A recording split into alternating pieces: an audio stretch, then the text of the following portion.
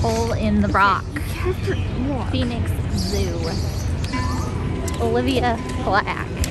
Um. Justin Flack. Oh, I don't have my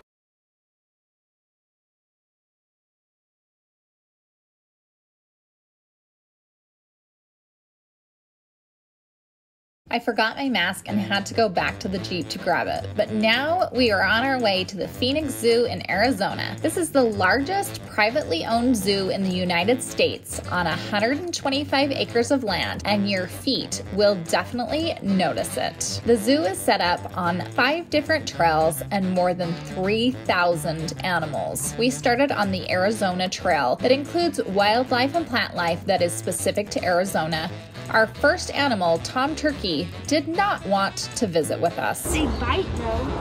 Oh, he's popping up. Are you getting so pretty? He's like, no, I'm getting pissed. Oh. oh, he's making noises. Just settle. Settle down, Tom. Settle down, Thomas. Thomas. Look at those feathers. They have 13 species of rattlesnakes, including one albino. Just like Indiana Jones, I hate snakes. But I think this one was talking to me, just like Harry Potter. Too bad I'm not a Parseltongue.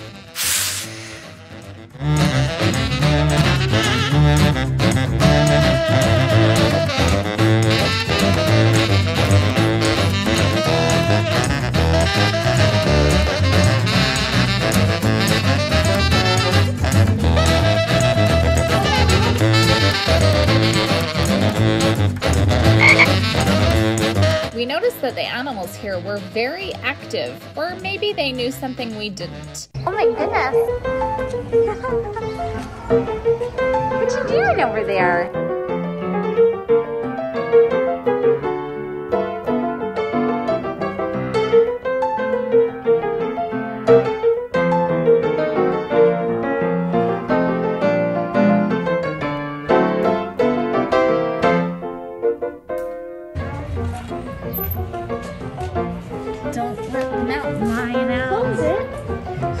Backwards still okay. Right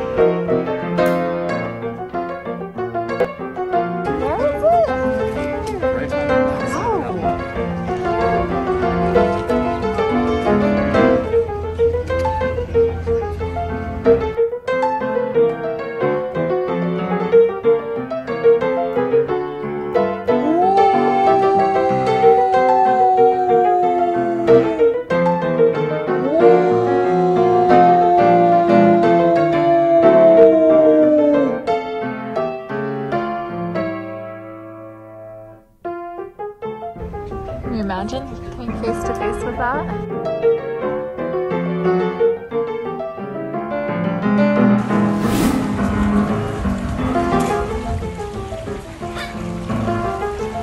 But that's what it's called. Because it looks bald, right? The Africa Trail had a very large savanna for the giraffes, and the warthogs were ready to eat. But in all reality, she was just trying to medicate one of them.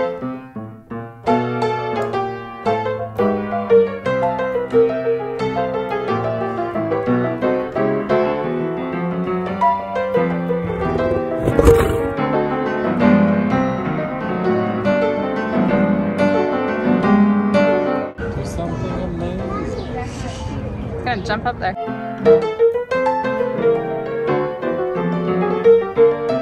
The Desert Lives Trail was a long walk up to see the bighorn sheep. By the time we arrived, they were walking away from us around the mountain. This was the largest enclosure I have ever seen at a zoo. Awesome for these animals.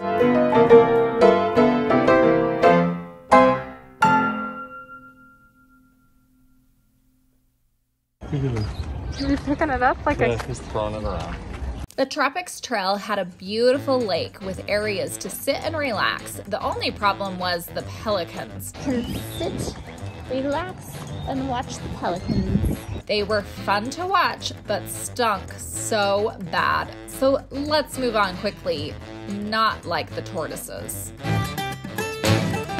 And the last trail is a children's trail that we actually didn't even go on. They were on the other side of the Stinky Pelicans, so we decided not to go. The cost of this zoo is 25 for adults, 17 for kids, but there are some extra things to do for an additional cost. Stingray Bay. There is Stingray Bay where you learn about, touch, and feed the stingrays. And then there's camel rides. They kind of look like pony rides. The zoo's website has a fun blog with information about the animals and some video footage at the zoo. If you're planning a trip here, I highly recommend visiting their website first because I know we missed a lot of animals. If you're interested in seeing a lot of animals and getting your steps in, then this is the right zoo to go visit. And of course, as always, if you are liking our videos, please like, and subscribe. Thanks so much, guys.